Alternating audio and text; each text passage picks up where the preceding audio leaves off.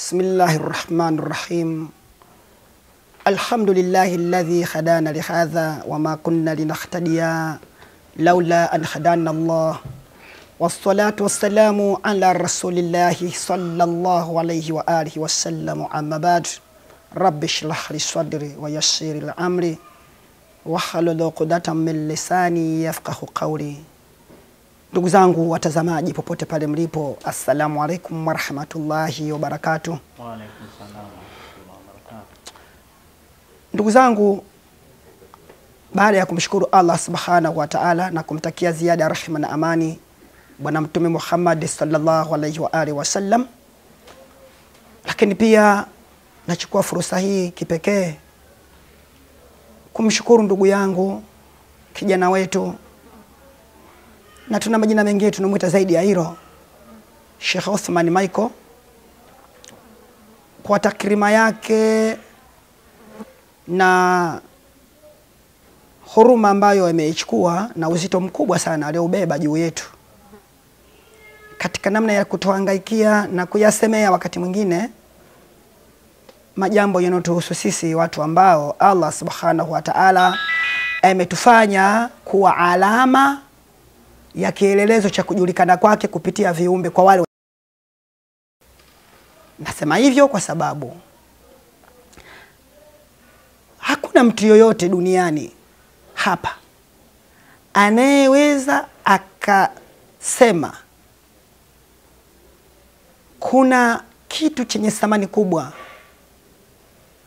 alafu thamani hiyo ikaenda ikalizidi jicho, hasa jicho nilizungumzia hapa lenye kufanya kazi yake itakikanavyo, maana yake lenye kuona huo ni mzuri, kwa sababu jicho unaweza ukawa nalo lakini lisifanye kazi yake ambayo imezoeleka kufanyika. Mtihani mkubwa tulionao sisi ambao Allah katujalia mtihani wa kutokuona ni mitihani aina mbili.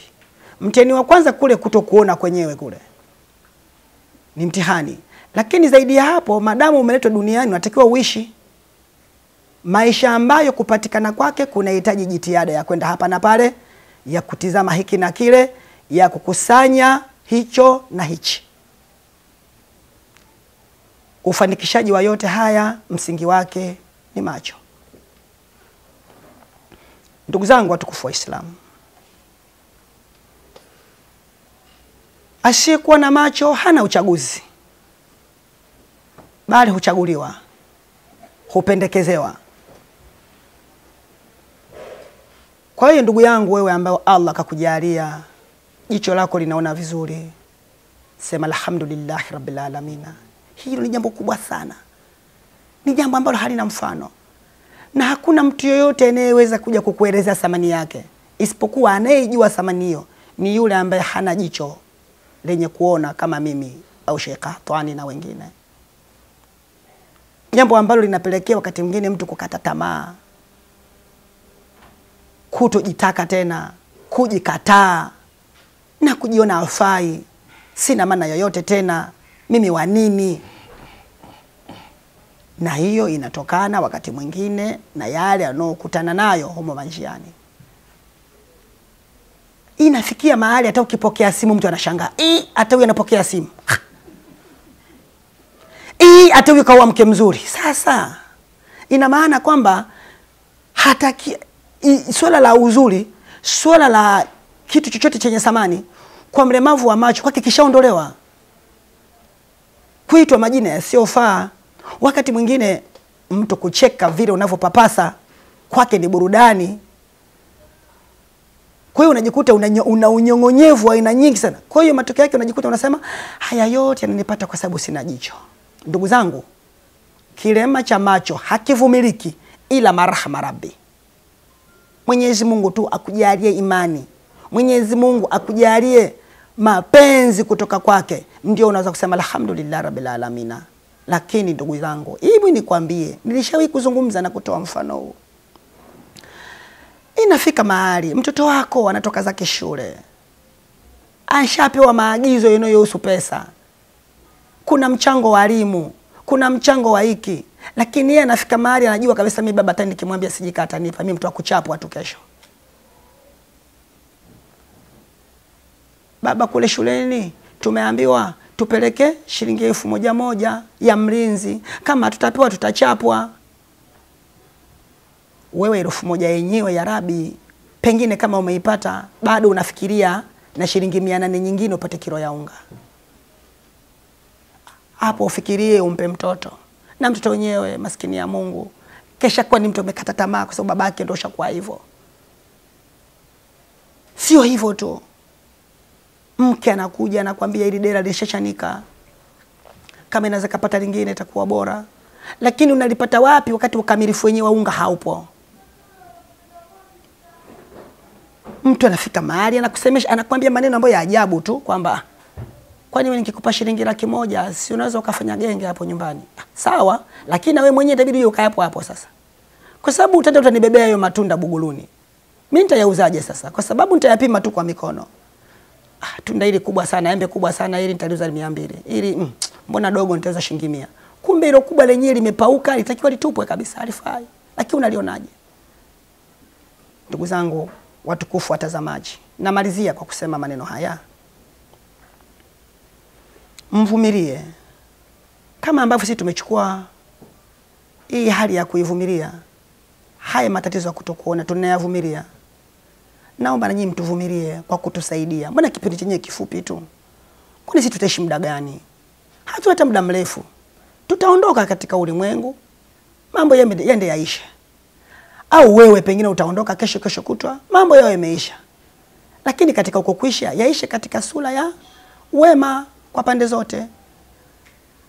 Ndugu zangu, ni mtihani huyu. Inafikia mahali mkeo pia haumjui, haumwelewi, unaambiwa tu kama ulivyosema ndugu yangu, mke wako mzuri, nilikutuma unisifie, kwani na mwaka naye wa tano wa sita, unakuja kuniambia leo mzuri. Una nia gani? Una dhamira gani? Kwani mke anachekwa, kwani wewe ulikosa hivi? Kwa ulivyo wewe ulikosa wanaume kiasi kwamba unakaa na mtu wa aina hii, huwezi kuenjoy lolote, hutoki naye kwenda bichi, hutoki naye kwenda kokote kule, hata kuongozana naye njiani haiwezekani. Ilikuwaje unakuwa na mtu wa namna hii? Changamoto hizi wanapata, wanaambiwa maneno kama haya. Mke wangu mimi nakumbuka mmoja aliambiwa hivi, ah, see, huyu tunakushangaa sana, yaani na hivyo ulivyo kweli unapatwa na kipofu. Wallahi, Mungu alimtia rehema, maana inaitwa rehema hivyo hivyo, alimpa uwezo akamwambia, mimi nakushangaeni sana, yaani nyinyi kipofu imekuja imewapikwa imenipata nyie na nyie mpo. Allah. Eh, alijibu hivyo. Wallahi nikasema alhamdulillah, Mwenyezi Mungu atakupa kheri mke wangu, Mwenyezi Mungu atakuhifadhi. Nivumilie tu, nivumilie, na siku iko siku Mwenyezi Mungu atakuhifadhi na wewe. Mimi sikuoni mke wangu, sielewi ukoje, na wasikia watu wanasema hivyo, lakini hata wakisema hivyo mimi hainisaidii. Ni hisia za mwili peke yake ndio zinazonifaa kwako, lakini sijui unavutia, sijui unapendeza, unatembea kama ngamia. Yote hayo mimi siyafaidi. Sana sana ukipaka perfume labda ndio nita- nitafaidi hiyo harufu. Ndivyo ilivyo, asikudanganye mtu. Na ndugu yangu hata bwana Rashid ni imamu msikitini kwetu, hivi ninavyosema, ana kidonda mguuni, kucha limeng'oka. Kwa nini? Kasema ustazi, nisikufiche, nilifanya majaribio ya vile ulivyo wewe. Nilifikiri hali iko katika laha gani? Nimejigonga hapo kwenye nguzo ya msikitini humu, nilifumba macho, najaribu kukuona kama wewe. Wallahi ninavyokuambia, ilikuwa ni jana hapa, lakini hakuja. Kasema nimefanya jaribio, nimeumia. Kaumia. Ndugu zangu, Shinyanga wiki wiki hii vyombo vya habari vimetangaza kumetokea matatizo ya moto kwenye shule ambayo inalea watu wenye mahitaji maalum, maarubino, walemavu wa miguu wamejeruhiwa, lakini waliokufa watatu ni wale wasiokuwa na macho. Alipohojiwa msimamizi na waandishi wa habari pale, kwa nini sasa wamekufa watatu hawa na hawa wamejeruhiwa kweli, lakini hakuna aliyekufa? Kasema kutokana na ile taharuki baada ya kutokea ya moto, kila mmoja anakimbilia upande wake. Sasa hawa wasioona, badala ya kukimbilia sehemu nzuri, walikuwa nakimbilia kule kule kwenye moto, wakizani wanajiokoa, kumbe ndio wanauingia ule moto. Hata tulipokuja kushtuka, tayari wameshapata matatizo. Kwa hiyo macho kumbe yana nafasi nzuri katika kukuokoa penye hatari mbalimbali. Sasa kama mtu kaweza kwenda kuufuata moto na kafariki, hivi mtu huyu anawezaje kwenda kwenda kwenda kule Tandale au Kariakoo kwenda kubeba magunia kwa ajili ya kupata riski? Sisi sio vipofu wale wa kukaa barabarani na kuomba. Sisi tunafanya kazi ya Allah, tunafanya kazi ya Mwenyezi Mungu siku zote. Hakuna siku inapita hatufanye kazi hiyo.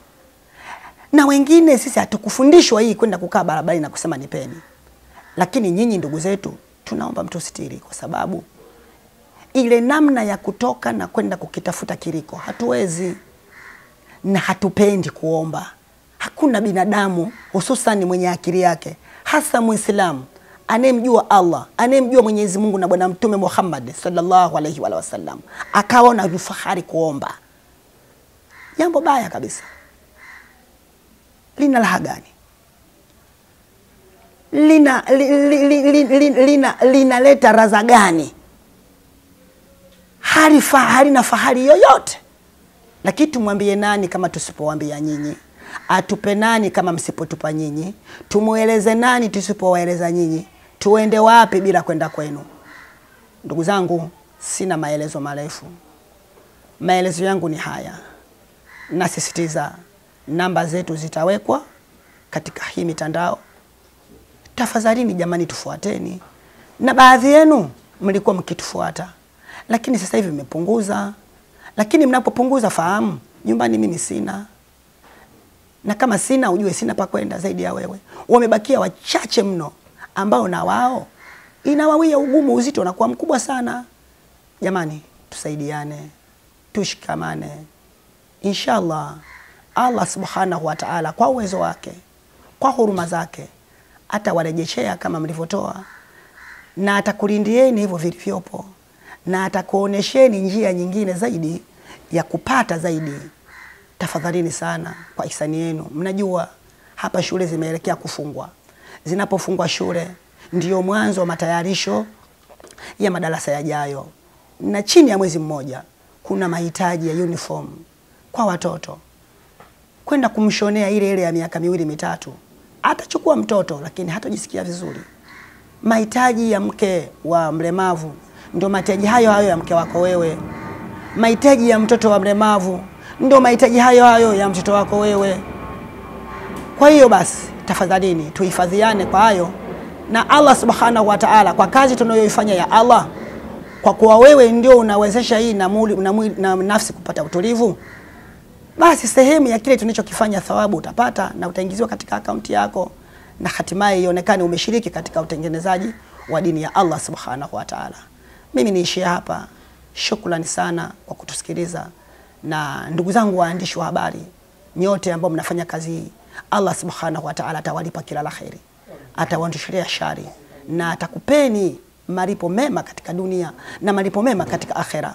Fanyeni kazi hii na nyinyi kumsaidia Sheikh Uthmani kwa kulisukuma jambo letu lifike mahali panapotakiwa. Jamani, nyinyi ni sehemu ya watu ambao wanaweza kufanikisha yale ambayo sisi yatakuwa ni ustawi kwetu. Shukrani sana jamani, assalamu alaikum warahmatullahi wabarakatuh.